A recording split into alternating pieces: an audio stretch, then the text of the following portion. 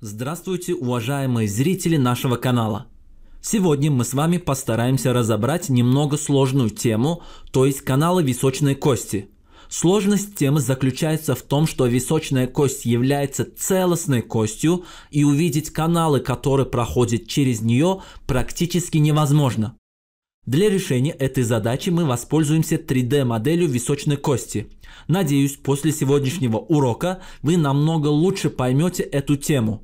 Приятного просмотра! Итак, первый канал, который мы разберем, это сонный канал, каналис каротикус. Как видно из названия, через этот канал проходит внутренняя сонная артерия. Но почему она сонная? Дело в том, что если с двух сторон перекрыть эту артерию, то человек потеряет сознание или уснет, так как эта артерия кровоснабжает основную часть мозга. Этим методом активно пользуются дзюдоисты, бойцы ММА и другие виды спорта. Сонный канал начинается с нижней поверхности пирамиды, если быть точнее с наружного сонного отверстия foramen caroticum externum. И если мы с нижней стороны посмотрим на височную кость, то мы сможем увидеть этот канал. Выходное отверстие сонного канала располагается на переднем краю пирамиды височной кости и называется внутреннее сонное отверстие foramen caroticum internum.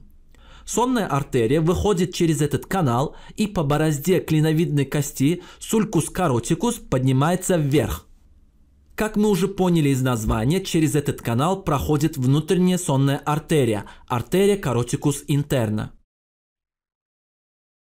Второй канал, который проходит через височную кость, это сонно-барабанный каналец, каналикули каротика тимпани.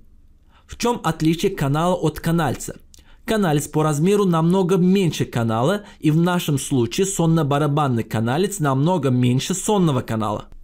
И чтобы хорошо представить начало канальца, я уменьшаю прозрачность нашего 3D модели. Теперь мы можем видеть структуры, которые проходят через этот каналец. Как вы видите, вокруг сонной артерии располагается симпатическое нервное сплетение. И это сплетение отдает свои ветви на барабанную полость. Значит, начало сонно-барабанного канальца находится в сонном канале, а конец барабанной полости. И через этот канал проходят симпатические нервы. Следующий канал внутри височной кости – это лицевой канал – каналис фациалис – как видно из названия, через этот канал проходит седьмой черепно-мозговой нерв – нервус фациалис. Лицевой канал начинается с внутреннего слухового отверстия – meatus acousticus internus, который располагается на задней поверхности пирамиды височной кости – Наружное отверстие канала находится между сосцевидным отростком процессус мастоидеус и щеловидным отростком процессус стилоидеус и называется щелососцевидное отверстие форамен стиломастоидеум. Через этот канал проходит лицевой нерв. Строение лицевого канала, его коленки мы более подробно разберем, когда будем говорить о лицевом нерве. А сейчас нам достаточно знать вход и выход лицевого канала. Идем дальше. Очередной канал, который проходит через височную кость, это канал барабанной струны, каналикус хорда тимпани. Каналикус хорда тимпани непосредственно связан с лицевым каналом, так как начинается в просвете лицевого канала, если быть точнее, чуть выше выхода.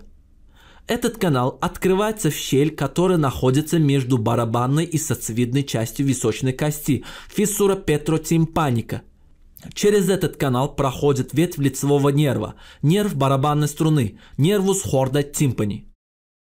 Пятый по счету канал височной кости – это мышечно-трубный канал, каналис musculotubarius. Этот канал, в отличие от других каналов, состоит из двух полуканальцев, которые находятся друг над другом. Сверху располагается мышечный канал, а снизу трубочный, как две половинки единого целого. Начало канала располагается на переднем краю пирамиды височной кости, рядом с сонным каналом. Их отделяет всего лишь тонкая костная пластинка. Мышечно-трубный канал открывается в барабанную полость. Итак, давайте вкратце рассмотрим эти два полуканала и начнем с мышечного. Через мышечный канал у нас проходит мышца, напрягающая барабанную перепонку. Она прикрепляется к рукоятке молотка барабанной полости – и участвуют в изменении упругости или натяжения барабанной перепонки. Это имеет защитную функцию, так как если упругость барабанной перепонки не меняется при слишком громких звуках, то она может разорваться, как, например, при взрыве. Трубный канал является продолжением Евстахиева канала, который соединяет носоглотку с средним ухом. Этот канал участвует при регуляции давления внутри барабанной полости. Например, когда вы поднимаетесь в горы, из-за быстрого смены давления окружающей среды у вас появляется шум в ушах. Но через Евстахиевый канал разница давления быстро нормализуется и шум исчезает. Следующий канал височной кости – это состевидный канал Каналис мастоидеус. Этот канал начинается в еремной ямке фосса югулярис, которая находится на нижней поверхности височной кости и заканчивается барабанно-сосцевидной щелью фиссура тимпаника мастоидея на наружной поверхности височной кости. Через этот канал проходит ушная ветвь рамус аурикулярис блуждающего нерва – при этом блуждающий нерв перед выходом из черепа отдает ушную ветвь в область еремного отверстия форамин югуляри. Эта ветвь заходит через еремную ямку, направляется латерально и выходит через фиссура тимпаника мастоидея и идет к ушам. И самый последний канал по списку, но не по важности, это барабанный каналис, каналикус тимпаникус – Каналикус тимпаникус начинается на дне каменистой ямочки фоссуля петроза. Эта ямочка находится между наружным сонным отверстием и еремной ямочкой. Этот канал открывается в щель малого каменистого нерва хиатус нерви петрози минорис, который находится на передней поверхности пирамиды височной кости.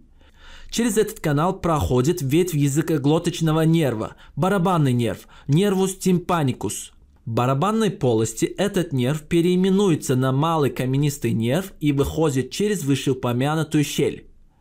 Таким образом, сегодня мы вкратце разобрали каналы височной кости.